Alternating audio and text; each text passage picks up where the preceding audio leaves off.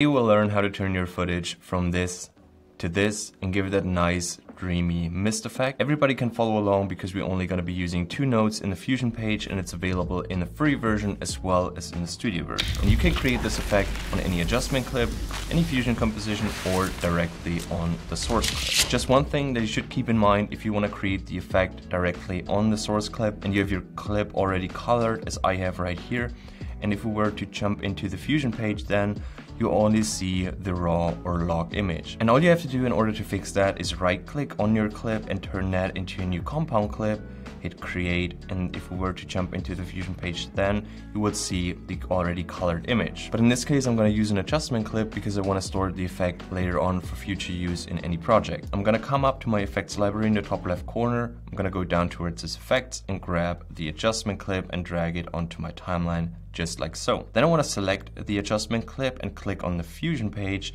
and this will load up a media in one and a media out one by default. So the nodes that we need in order to create this effect are the blur node and the glow node. And you can grab the blur node right from the toolbar up here, just click, drag and hover over this line and once it changes color you can let go of it and that should automatically connect the blur node in between the media in one and the media out one. Now with the blur node selected I'm gonna come up to my inspector in the top right corner and I'm gonna drag the blur size up all the way and then I'm gonna use the blend slider to dial it back and I think around 0.4 is pretty good for this specific clip. However, if your clip is different, then you want to play around with the blend slider to get the desired result. I'm gonna leave it at 0.4 and then I'm gonna hit shift spacebar with the blur node selected and type in glow and just add the glow node. And by default, this is gonna look horrible and I want you to make it even worse by increasing the glow size in the inspector all the way to 100. Now we're gonna reduce the glow until we not see any clipping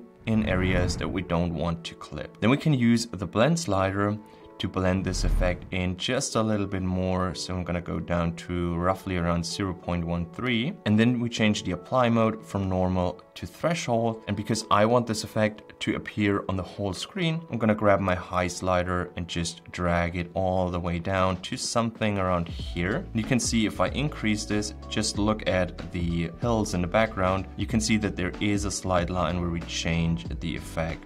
So I'm gonna drag this down until we affect the whole image. And that's it. This is a very simple but very efficient way to create that nice dreamy mist effect. And if you want to store this effect for future use, all you have to do is come up to your media pool in the top left corner, click on the power bins and if you don't see that by default just click the three dots right here and select show power bins. Now I want you to drag the adjustment clip just into the power bin section then you can delete it from your timeline and now you can just grab the adjustment clip and drag it back onto your timeline make it as long or as short as you want and if I'm gonna deactivate it and activate it, you can see the differences that this makes. But if the effect is still a little bit too strong for you, you can always change the global opacity by selecting the adjustment clip, coming up to the inspector in top right corner, then go down to where it says composite and drag the opacity down Let's go with something around 50 for this clip, but I've already turned this effect into a plugin which is entirely for free. If you're a channel member, you can download it from the channel members page. If you don't want to do so, you can always go to my website and download it from there. But I'm also going to give you an example on how this plugin looks and how you can customize it. We have four different effects. We have the Cinemist Extreme, Cinemist Mid, and Cinemist Subtle, who also have the Pro Mist. And I'm going to showcase you the subtle one and the Pro Mist one because the mid and extreme one are just variations from the subtle one. This by default is the subtle one. If I'm gonna turn it off and on, you can see the differences this makes. But we also have control over the mist and the glow. So we can dial down the mist strength if this is a little bit too harsh for you, you can turn down the glow and the glow strength right around there. But we also have this threshold that we can increase or decrease to just affect the areas that we want to. But now let's switch to the Pro Mist version because this has a built-in limiter which lets you limit the effect to a specific area based on the luminance values of your image. So if I'm gonna drag the left slider up, you can see that we're only affecting like the brightest parts of our image and we have a roll off slider to dial this just a little bit back like there. Then we have the softness strength Let's dial this a little bit down and the glow, let's dial this a little bit down, blend this in a little bit more nicely and if I'm gonna activate it,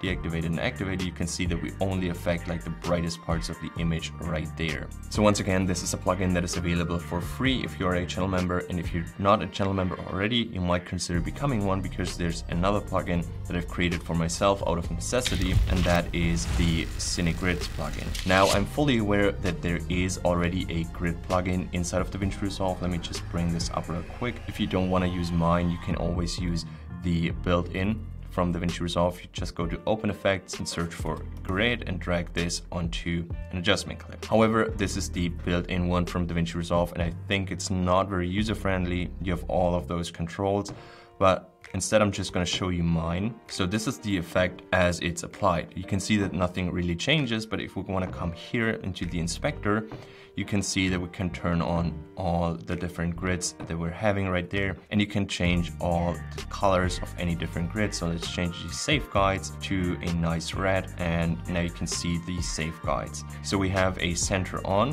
which basically is this big center X we also have a small center guide, which is this crosshair in the middle. We also have the safe guides, which are the red outlines right here.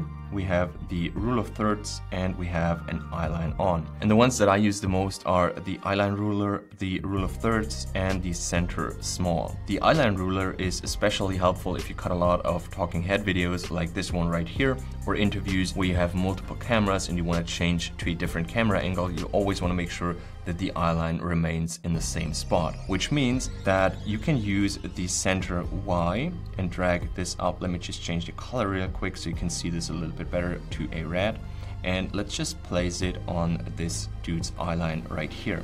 So if I'm gonna cut to a different shot right now, you can use this ruler to line up the eye lines from the next shot. Or if you wanna crop into the image, you can also use this eyeline ruler, just place it on top of the first shot and then extend it until you can see it on the second shot and then match your eyelines right there so you have a consistent eyeline level within your talking head segments or interviews. But once again, this is a plugin that I created for myself out of necessity and I'm gonna make it available for any channel member to download for free as well as the Cine and ProMist plugin. But if you're not a channel member and if you don't wanna become one, you can get those plugins individually on my website. But if you don't wanna do so, I totally understand that.